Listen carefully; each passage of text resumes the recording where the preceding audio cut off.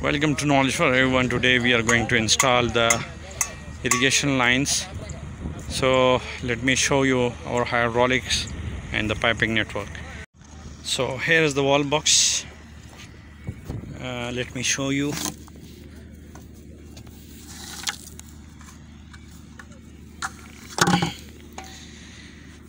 So here you can see that uh, we have a ball valve and uh, that is a double union ball valve. And then we have a auto valve.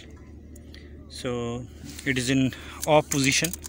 And uh, uh, this is on and this is off. And this is the auto valve. And uh, here we have a decoder FD102 uh, let me show you and this is the decoder FD102 and there is the white address 1395 is the number of decoder. And these are the main cable maxi cable which is coming and it's connected to the decoder through that wall. So this is a solenoid valve this is the solenoid part and the rest is the wall and the water is going in that direction. So let me show you. So 3 inch line is going in that direction which will be uh, the flow that will be going out will be around 150 GPM the capacity of that is 150 GPM but we will be withdrawing water about 100 GPM so let me show you the loop. So first of all here is the sand. Let me show you the sand quality. This is the sand uh, which we, we will be using in with the, our irrigation lines for filling. So there is a little bit debris like here you can see but the rest is fine okay.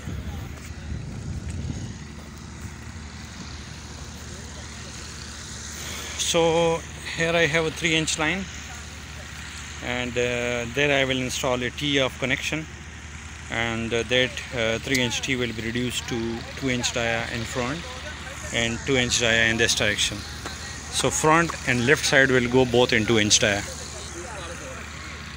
So there we have installed the pipe. Let me show you the pipe the pipe is going in currow a bit.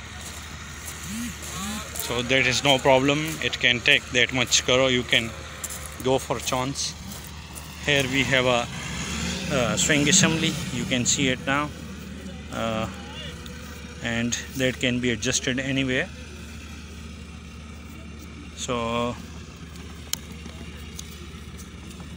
here you can see it that you can make it. So there is acme thread and that is bsp and that is 2 by 1 inch t with a 1 inch female and that uh, swing assembly is male. So male is uh, connected to the female. Then it is going 2 inch dia pipe straight. This is the filtration bed and we have uploaded several videos on subsurface drainage so now this is the second uh, uh, swing assembly. On top of which we will be putting the sprinkler. So here you can see that we have another swing assembly joint. And then it is reduced from 2 inch to 1 inch dia uh, sorry 1.5 inch dia not 1 inch. So the pipe is going all back with 1.5 inch dia so this line is 1.5 inch tire.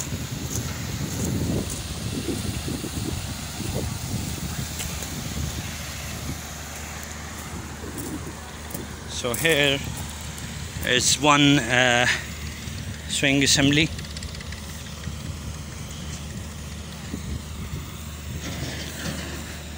So this is converted back to from 1.5 inch to 2 inch dia and we have a T-up connection 2 by 1 and that line is going straight.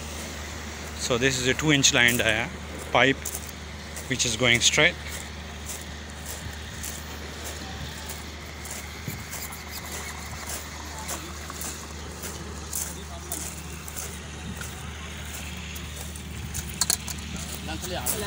Here we have a T-up connection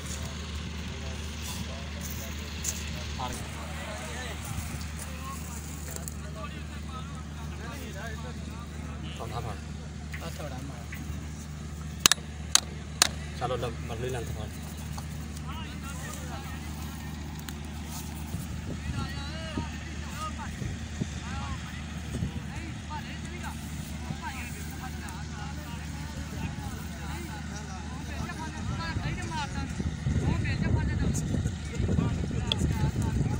ठोक चल चलो छड़ छड़ दे बंदे